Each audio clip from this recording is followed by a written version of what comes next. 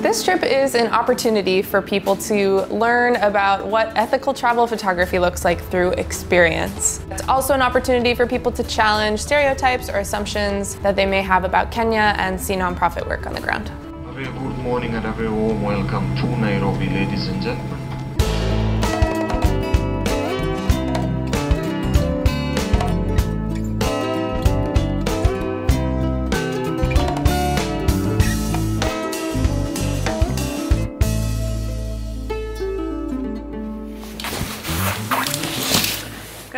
Morning.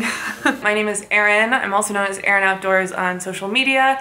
I'm an adventure photographer, blogger, and international trip leader. I'm here in Kenya for a few reasons to shoot for Ubuntu, which is a nonprofit that I've been working with for a little over a year. I'm here to lead a trip for supporters of Ubuntu so they can see the work that's being done. And I'm also here to show you what we're doing. Heading to Mai Mahiu today, so we've got a very scenic drive.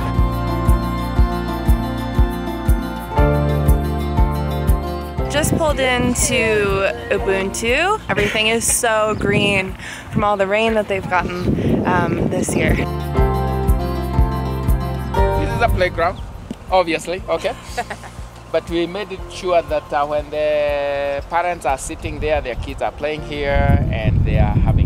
I'm Jeremiah Kuria. I am the country director for Ubuntu Life Foundation.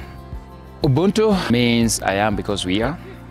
Our organization here at Ubuntu started uh, with children with special needs, and we have been giving them a place where they can be able to come together, which is a huge relief for their parents. This trip came about because Ubuntu wanted to show its backers where the products come from, and it's also an opportunity for people to come to Kenya, see where the products are made, but then also meet people, stay with a Maasai tribe, and challenge maybe the assumptions that they have about Kenya as a whole or about Maasai people, and then also to experience some of the wildlife at an eco camp. I'm Zane Wilemon, co-founder of Ubuntu. Uh, so started this with Jeremiah 18 years ago when I bought a one-way ticket to Kenya. When I first met Jeremiah, he was working in an orphanage with 140 kids. Ubuntu started there in that orphanage. The big issue that we realized was most of these parents couldn't pay school fees because they didn't have jobs.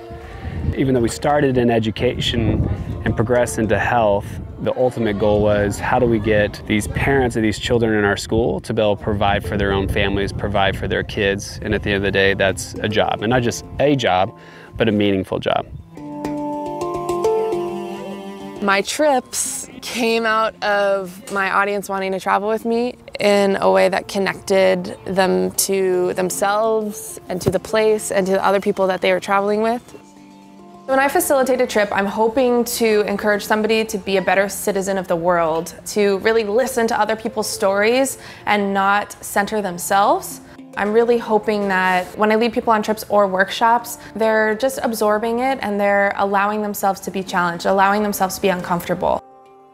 From a photography perspective, it's really important that we consider how we're sharing these stories, especially from communities that may be marginalized by Westerners. When I'm leading a trip of photographers, I'm trying to facilitate conversations around these things.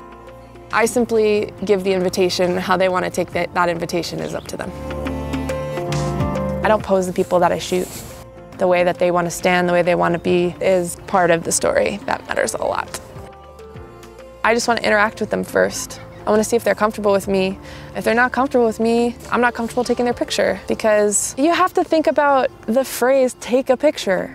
When you take a picture, to me, you're taking something, you know?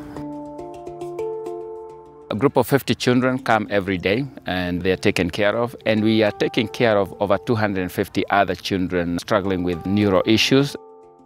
Those are all the children that uh, we are taking care of at Ubuntu. These images will be used to raise money for Ubuntu's programs. When I'm shooting at the school, those photos are also school photos for these kids to document their process over the years. A lot of the Ubuntu kids have neurological or physical disabilities. So it's really helpful for the school, for the families, and for the kids themselves to have photos of their progress as they get older. Jeremiah and I kind of looked at each other and were like, if our vision is long term, then we need to own our own land. I started learning more and more from year to year just about the location of Mai Mahiu and that it's strategically located in the country because it's on not only the major trade route of East Africa, but it's also the major tourist route. That's when we bought in 2005 the 11 acres of land. We have done our best to beautify the place. We have planted lots of trees so that uh, the place looks good and it's coming up very well. It was bare ground with nothing growing on here. We are very excited that it is getting beautiful every day. What I would hope that people take away from this experience is more than just coming home and saying, wow, those people were so lovely. They were so joyful. The smiles were amazing. I loved hanging out with the kids.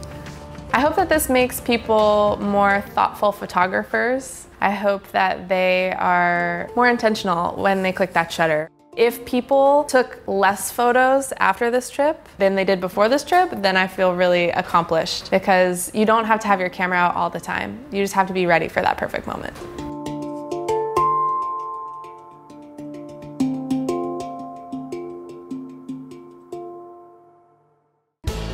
This is what you are gonna see on My Travel Diary Kenya.